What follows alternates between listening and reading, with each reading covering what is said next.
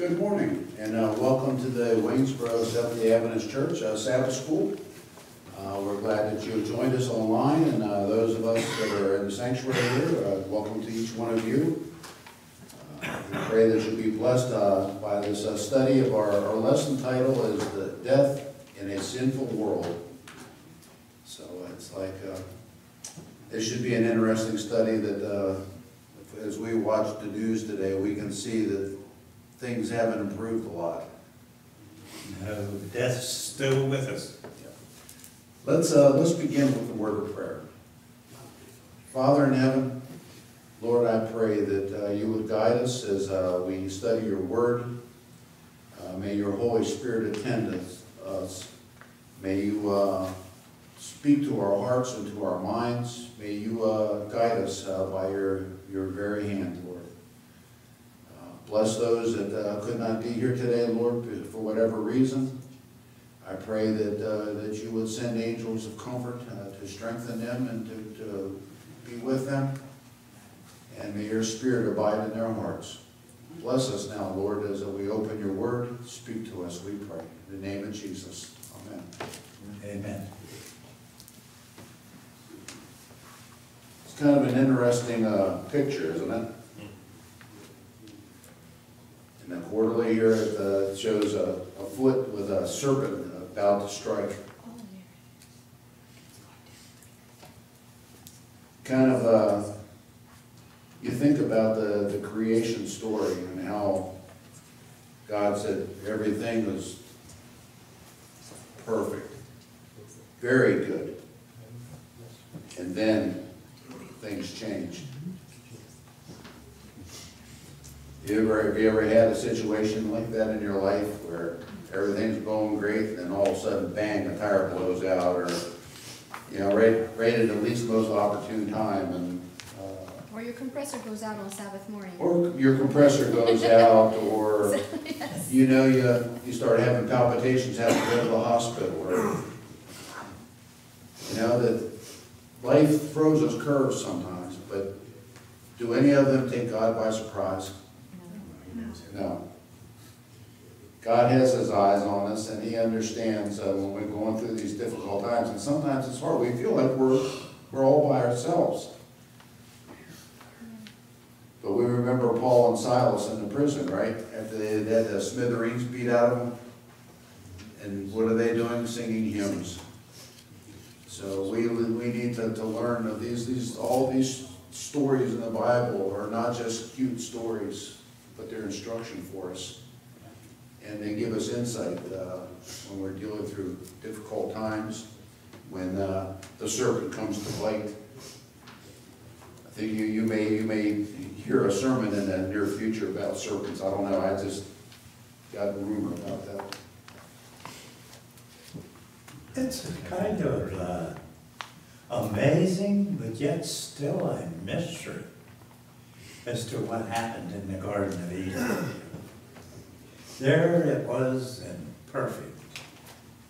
And yet, uh, we see some lessons there. And one of the lessons that we see is that as God warned Adam and Eve about uh, not eating of the tree, why would he warn them? What would be the reason? Love. Which is great. Because he loved them? Yes. What else? Give them freedom of choice. Yeah, Yep.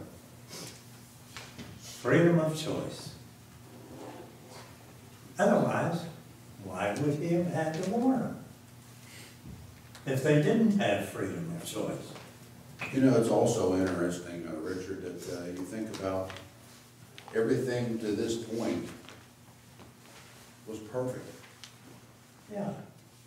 You know, that Well, it was the same way in heaven. Yeah, everything, everything was going really good.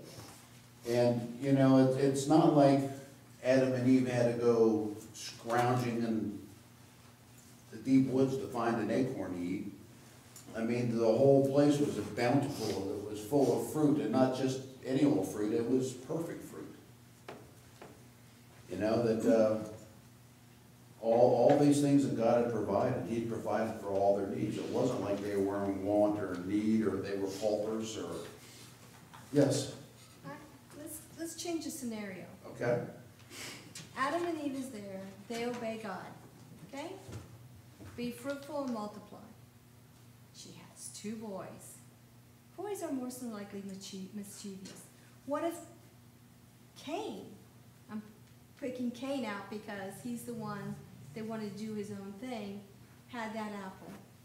Would the rest of the family have taken a bite of that apple to follow Cain? Or would they just say, out you go, son, see you later, we'll make more? I mean, that, that could have happened. So it's, it's, you know, would, I think eventually it was gonna happen. Yeah, It, I think it's just too hard. You have two people to obey God, then you have three, then four, and they multiplied. She was busy. Some, one of the kids would have messed up. Peggy? I tend to think, um, I mean, I understand what Ida's saying, but I tend to think that if Adam and Eve had never fallen, that their children probably would not have fallen either. Once sin started, then, um, there was no stopping it. Could, could we, uh, make a parallel between COVID-19 and sin? That it's a very infectious thing, it's easy, it's easy to catch. We see how, you know, that this, this thing can spread so quickly once it finds a host. And, but, you know, if everybody had perfect immunity, you would say, well, you know, well, COVID would never have a chance, but, you know, what, what has happened to the human condition since the time of the garden? Degenerated.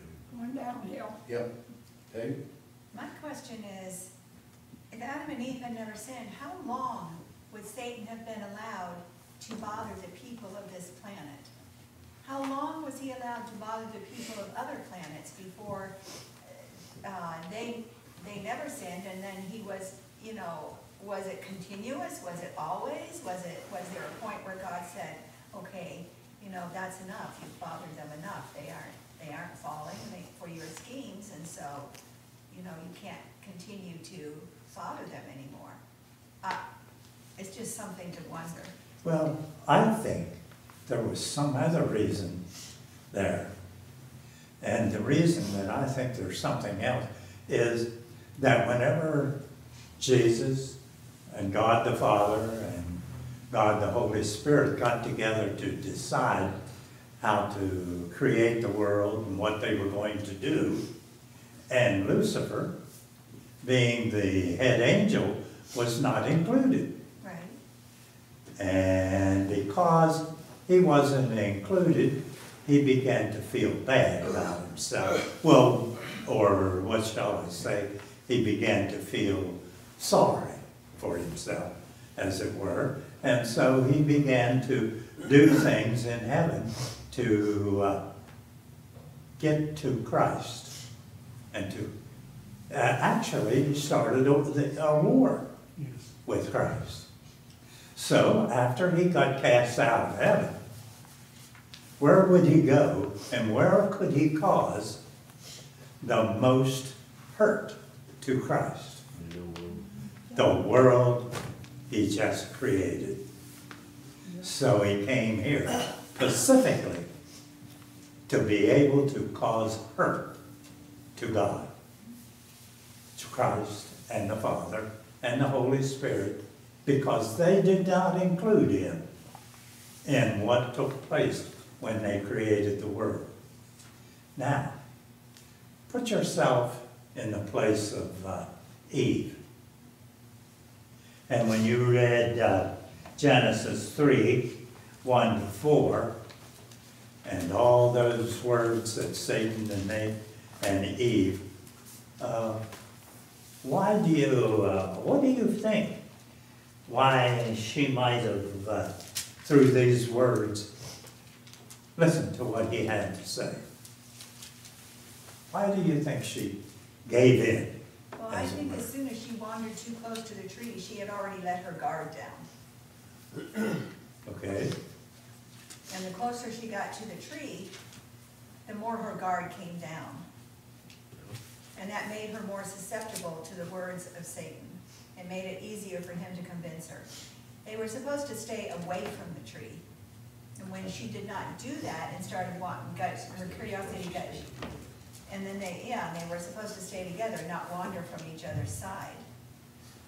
So, um, because what does it say, I think it's in Ecclesiastes where it says about, um, you know, we need each other and that a twofold cord, a threefold cord is the best, but when, you Mhm. know, you need, you need someone to help you stay strong, and they were supposed to do that for each other. Do you think that's true in the church as well? Well, sure. It's always That- That's one of the benefits of church attendance, is when we're feeling tempted, when we're feeling attacked, that we can draw strength from one another, encouraged, you know, to resist the depression or the anger or the, the Yeah. jealousy or whatever it is that, uh, that Satan, you know, the, the soup of the day, whatever Satan is serving, you know, that, uh, we can resist those things. This- This idea of, how hard is it to be content? well, let's think about it a little bit. Did you sweet talk your wife at any time? How did you get her to, He's getting into to marry you? Just think of it a little bit.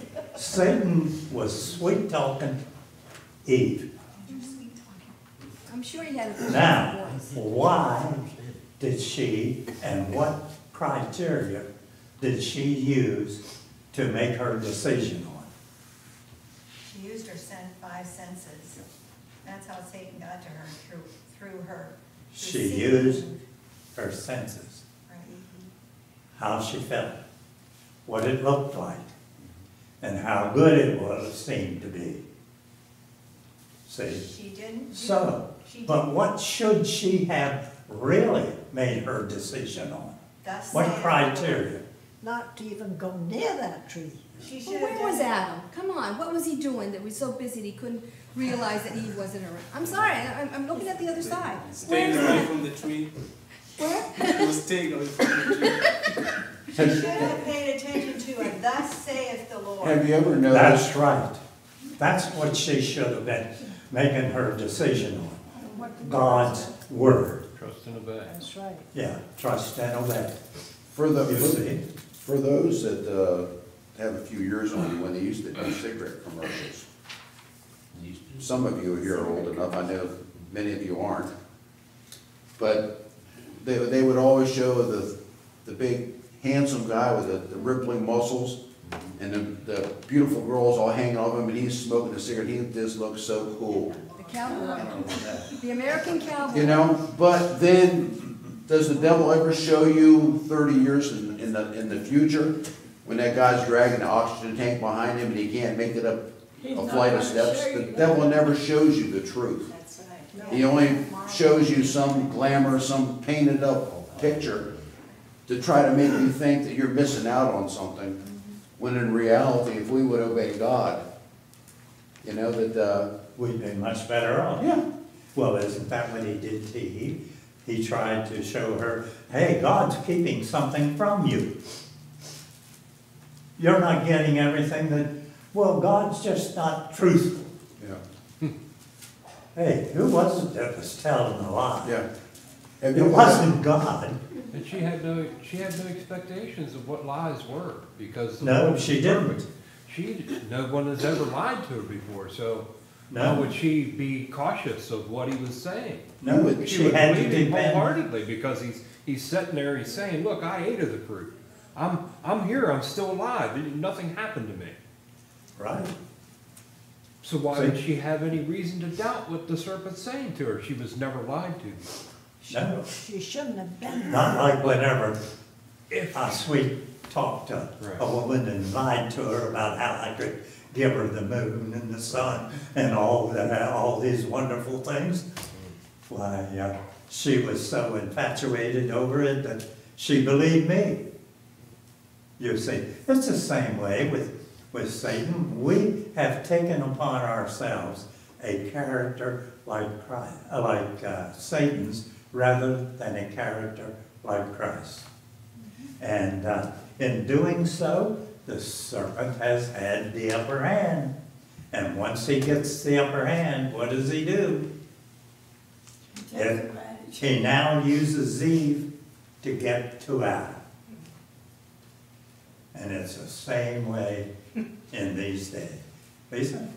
Um, I often wonder, because everyone always says that Eve wandered away from Adam, but the Bible just says in, um, in verse six, that she also gave to her husband with her, and he ate. So it makes it sound like that he was there with her at the tree. I mean, every time I read that, and then I hear everybody else saying, well, she wandered away. Did she really? Or was he just allowing her to make the decision and he was there also? Because it says that he was with her. Yeah. At the same time, though, I'm just saying. at the same time, though, I agree with Lisa. no, I don't think, I don't think they were together. No. Um, the thing of it is, is that you can be in the same house, but not in the same room. So you get a phone call and, um, somebody, and somebody asks, you know, is your husband there? Yeah, let me get him. He's in a different part of the house or he's in a different room. He's not with me in this room. Well, So, he was with her in the garden. They were both in the garden, but they were not in the same place in the garden like they should have been. Would you like to? well, whether, whether or not he was or wasn't, or whatever, hey, we should take God at his word. Right, I just, That's the Would you like to hear what the prophet says? And that's what, Yeah. uh, is, God is trying to tell us. In Patriarchs and Prophets, it says they were not together in the garden. Page fifty-three. Okay. It basically, basically it states that, uh, the angels warned Adam and Eve to be on guard against uh, the devices of Satan, for his efforts to ensnare would, uh, uh, them would be un- unwary. Uh, while they were obedient to God, the evil one could not harm them. For if they needed, uh, needed be, every angel in heaven would have been sent to their help. And then the next paragraph says, the angels had cautioned Eve to be aware of separating herself from her husband while occupied in her daily labor in the garden. With him, she would be of less danger from temptation than if she were alone. But absorbed in her pleasing task, she unconsciously wandered from the side. On perceiving that she was alone, she felt an apprehension of danger, but she dismissed her fears, deciding that she had sufficient wisdom and strength to discern evil and to withstand it. That's the prophet speaking. That's uh, self-efficiency. Yes.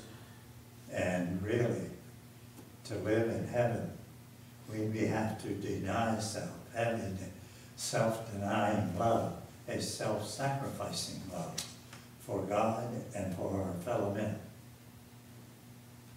That's the only way we can do it. Now, Satan started out by uh, creating doubt, and then he told a lie. What was his lie? Thou You shall shalt not not surely surely die. die. Not surely die. You will not die. Is he still telling that lie today? Yep. Oh, yes. How's he telling it today?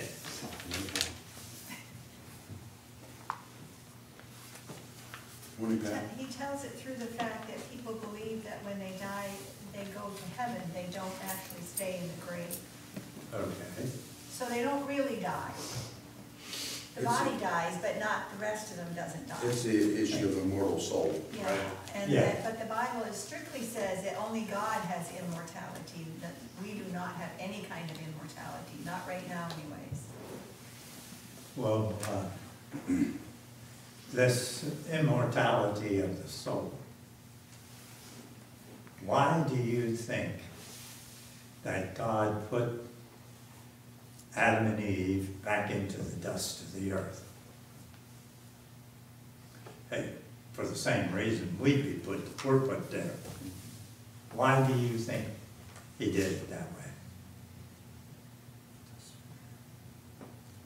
It's awful quiet, Yeah, He Richard. said, of dust you were created and of dust you you shall return. You return back to the dust. To make sure that sin stayed here at this planet. Did the dust make itself alive? No. Who made the dust alive? I did. I did. So the dust doesn't have any uh, internal attributes of God, does it? In and of itself. It's only when, when God lives in our heart that we receive some of those attributes from God. And when he said that he made us in his, in his image, it was because what happened at the creation? Jesus breathed the breath of life into his nostrils, and it became a living soul. When God breathes, the breath is also used in the Bible to, to represent the Holy Spirit. When God breathes into our souls, he brings life. When we're absent of his presence, death soon follows. Spiritual death and then physical death. Now, now imagine Adam and Eve, they've never seen a wilted leaf, never seen rotten fruit. Everything was, was perfect. No, no locust eating leaves. I mean, it just, everything, there was a, there was a natural balance in everything. Well, how long do you think Adam and Eve could have uh, suffered and endured to see the effects of sin? Could they have endured to, like we hear the, hear being preached in many uh, Christian assemblies, that you don't die, you go to, to heaven? Uh, do you think they could have endured to see what is happening in our world today? Don't you think that was merciful of our God? Yes. I think that's one reason. Then I can think of another reason. Did Adam and Eve know what death was like before they had sinned? No. No. No, they had no idea. Do you really know what death is like? No. What difference does it make? No. We'll Die anyway. Well, No. unless the Lord comes before that time. Yeah, but we don't know. All right, then supposing I make a choice of not following God, and when the time comes and I die, and, and then I am resurrected, for all are resurrected, whether you're wicked or whether you're righteous, everyone is resurrected. At some point. And so, and here I am to face the second death. Do you think I need to know what death is like? There's the first death. And God tells me, hey, this is what death is like. Only one difference. You aren't resurrected from the second death. You are. No, not to be saved. No. It is death And- and nothing. Therefore, it is said in God's word, we have once to die. Yeah. We don't have to die that second death. Why? Because of the promise. That's right. Now, how far back does you think that promise went? From the In the beginning. The beginning. Bible says before the foundation of the world. Uh, It was before the foundation of the world. So really, what is the consequences for sin on Wednesday's part there? What is the consequences for sin, for disobedience? Well, the Romans says that the wages of sin is death. Death.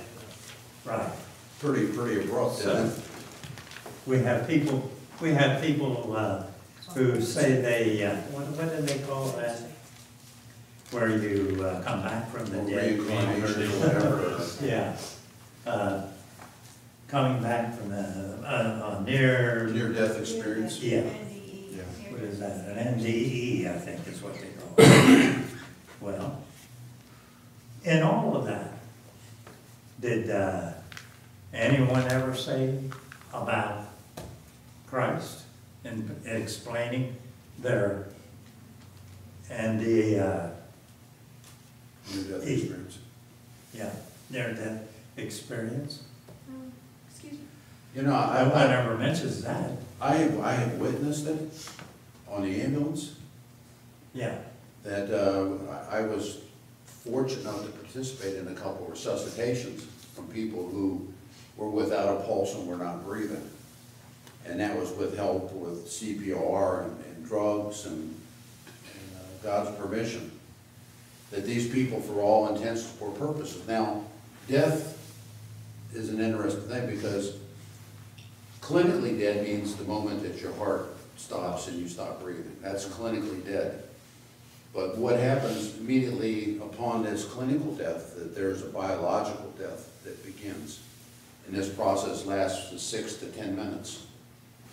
Six to 10 minutes, what happens is the cells begin to deteriorate to the point where they cannot respond again.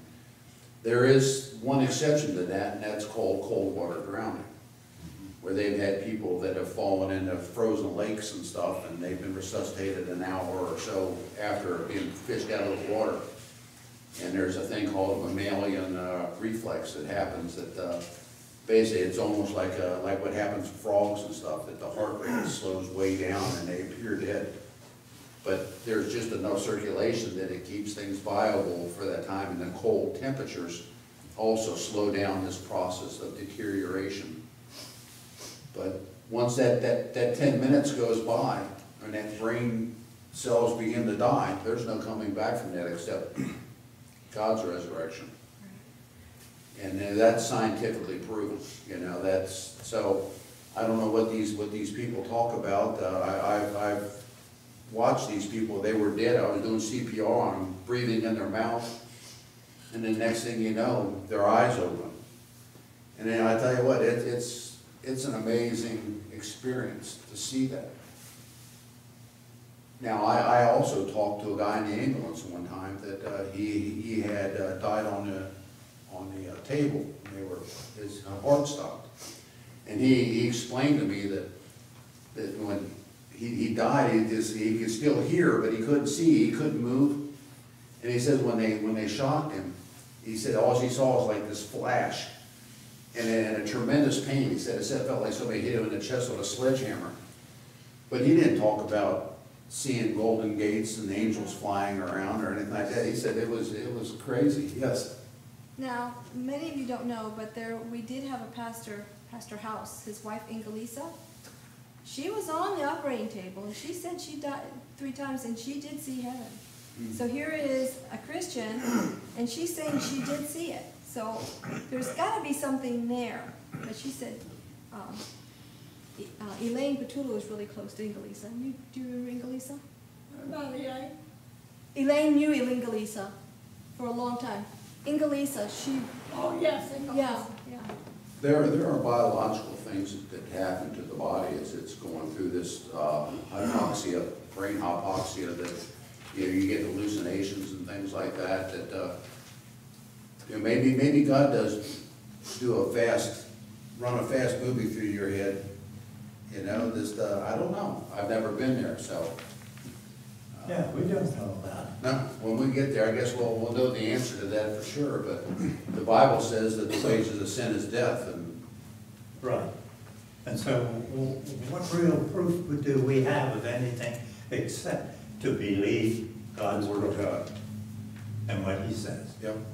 And Satan is gonna use this, this, this false narrative that he started Yes. to to deceive He's the- even the very elect. Yeah. He's out to, uh, uh, well, he's the father. And not only is he a liar, but he is also a murderer. Because what, who is responsible for, for the sin? It's not God. It's Satan who's responsible for sin. So, he's the one that started it. And I have the choice of whether I want to go along with what he said. But if I give in just once, just look how it's spread from the time of Eden until now. And how there are killings, how there all kinds of corruption and all that sort of thing going on in our world. Hey, if it continues the way it is, eventually sin will destroy itself. So God, in his great mercy, is gonna shorten it in righteousness. In other words, before it gets to the point of where it will destroy itself. A good illustration of that is our homosexual things. Hey, can two of the same sex reproduce? No. So since they can't reproduce, the, uh, They're operating outside of the creation model. yeah, they are not only that, but hey, humans will cease to exist. Richard? I don't know if I should bring this up, but I'm going to. Satan is upset with Christ because Satan cannot procreate. Only humans No. can procreate, Yes, okay? only God. Satan has gone so far in this world right now that they're doing something called transgenderism. Mm-hmm. Where a guy thinks he's a female, a male thinks, or a female thinks she's a male, mm-hmm. they can go and have an operation. They're doing operations on kids mm-hmm. from the age of zero at birth, or before birth, to age seventeen. And they're not letting the parents know anything about this.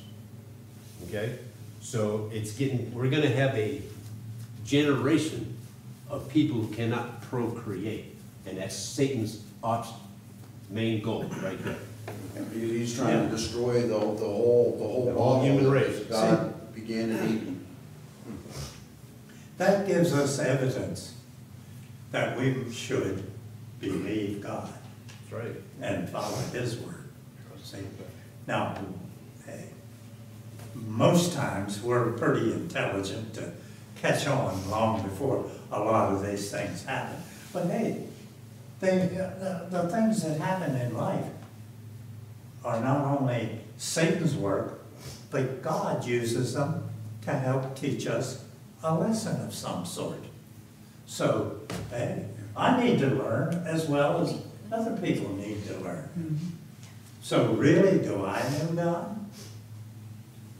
That's a question I have to ask myself. Yeah. An interesting thing we can, we can learn from the military. If a soldier, do do soldiers wear orange on the battlefield? Nope. No, they try to make themselves blend into the environment, they, they, they want to be hidden. Most medics don't even wear a red cross on the Right. battlefield. So Satan, when he's devising this lie, do you think he wants to spray paint it orange so it's real obvious? No, he camouflages it, makes it seem like, well, that's just a bush. You know, that, that, there's not, there's not a rifle in here that's gonna kill me, it's just a bush. And the, the, the devil does the same thing with temptations. You know, what we're seeing is, you know, what did he, he, he told Samuel? You know, when they rejected, uh, God and, and wanted a king, he says, you're not rejecting you, Samuel, they're rejecting me. When we reject the word of God, we're not just rejecting the pastor or denomination, we're rejecting God. You know, we have to think about that, that, you know, this, this, this word that's contained in here.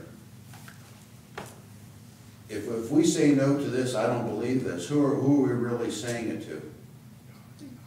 When we give, give Bible studies, we hand out tracts that, "Oh, I don't believe in that, you know, you guys are a bunch of Bible thumpers. Who are they saying that to? They don't. Why do we believe take it personal? Why do we We get our feelings hurt, or we're so afraid to, to say things, because we're afraid of rejection? Was David afraid of rejection Yeah. when he went to face that, when he went to face Goliath? No. All his other compadres were, mm-hmm. because they were letting Goliath badmouth God. Okay? When we sin, we don't sin against anybody except God. Yes, we do. We can sin against each other Yeah, and whatever, ourselves. yeah, but we, But ultimately, we our sin sin is against God. against God. Yeah. But we can sin against each other and Sure. even sin against ourselves. Yeah, that, that idea, sticks and stones don't, don't break bones, that's a bunch of baloney, you know, It is. words are brutal sometimes. And when we, we say things to one another, we can, it's like being beaten with a club sometimes, yes, Peggy? Well, before we get, before we only have five minutes left, which you're gonna have in about a minute, we need to look at Thursday, because we need to look at the gospel promise that was given, And what is that? that we have a savior coming. Well, he's already come, but back then to Adam and Eve, that was the hope that they were given. Where was that Yes. promise Genesis first given? three. Genesis three fifteen. And Genesis three twenty-one. Mm-hmm. The gospel was preached. Yeah. And who was it preached to? The first people. Right. So what is our job? Preach the gospel. Preach the gospel. That there's been a, uh, made a way out for us to escape this, this snare of sin. Now, this is, this is one of Satan's lies. He says, well, as long as you believe the gospel, you don't have to do the other thing. Tell me, if you really believe, or if Adam and Eve really believed when God said, don't touch that tree, don't eat of that fruit, do you think they would have ate of it? No, they doubted it. So they weren't obedient. And disobedience is transgression of the law. The law is God's word. So, uh, the gospel, if you preach the gospel, then you have, to. what about all these different teachings in God's word? From that of, uh, uh, a uh, immortal soul, to that of the Sabbath, to that of all, all the other teachings that are the truth in God's word. They are the things that help teach the gospel. They are what these, uh, what shall I say, teachings or, or uh, what they, what the Bible teaches are to help us to understand about God and what God has, wants us to do and how the gospel can be preached. So, uh, every true doctrine in the Bible tells us about Christ. That's why when people have these uh, near-death experiences, they don't say anything about Christ because it's not the truth. And therefore, many of these people that have had these experiences are far from being a Christian any longer, less than what they were before they had it. So, uh, hey, let's turn to our God. Now, Peggy, what was you going to say? I'm sorry, I kept running. Oh, Oh, that's okay, you basically went where I was gonna go.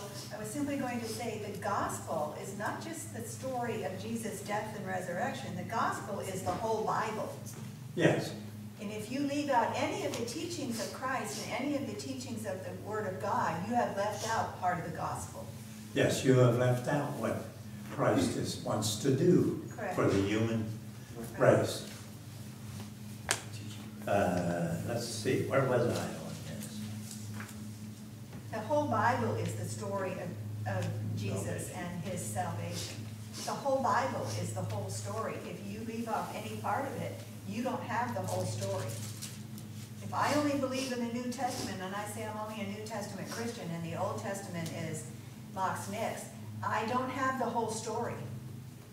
I don't have everything leading up to Christ's death and resurrection. I've left off all this important stuff, and therefore I never have the whole story. Frank, you got anything to add to Thursday's part? Basically, uh, you know, th- this gospel, I mean, Ellen White tells us that uh, there's nothing more important or should take the place of us sounding the, the call that we find in Revelation fourteen verses uh, six through twelve, which is the judgment hour has come and a call to, to come out and then that Babylon has fallen. That is our prime directive. That there, there's nothing else that she says should take precedence over that message. Because there is a world out there that is listening to the lies of Satan that says you can sin and go to heaven. But we know that, that that is not true. How do we know that? God has told us. Yeah, God has told us very clearly. There is no nuance to that. There's nothing that we have to use a slide rule to figure out. You don't have to be an engineer or speak a, a exotic language to understand it. That the wages of sin is death, and we've seen death. And I remember as a child, when my, my little Dodson got run over by, by a mail truck. That was my first experience with death face to face, and I tell you what, I was so angry. Yes, babe? You have to remember that there is more to that scripture than great, but the grace of God is eternal life through Jesus Christ our Lord. So when we come to him, he takes care of our sins.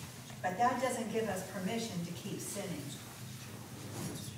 He covers our sins Correct. with his blood, Yes, and he clothes us with His the robe of his righteousness. correct. It's not our righteousness that gets us into heaven. We don't have It is his righteousness.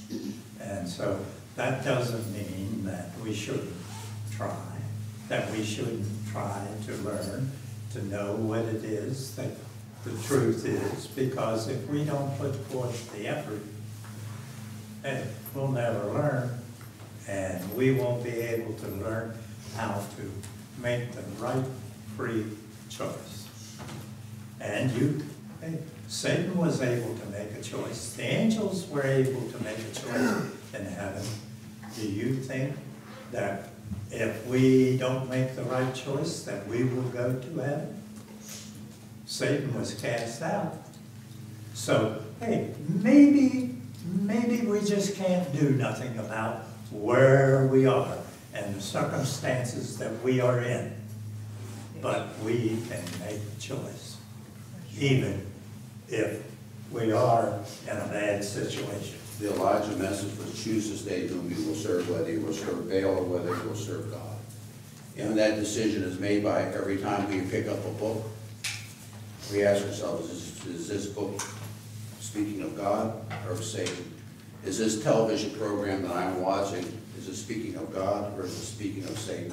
We make choices every time I sit in front of a plate. Is this food bringing me closer to God or taking me away? And so everything that we do, everything that we say, we- what does the Bible say? That do all to the glory of God. And so we need to, to make this decision moment by moment, breath by breath. And that's the second. Yes. That means you and I are going to Finish. talking. Yes. So let's have a word of prayer. Father in heaven, we thank you, O Lord, for your loving kindness.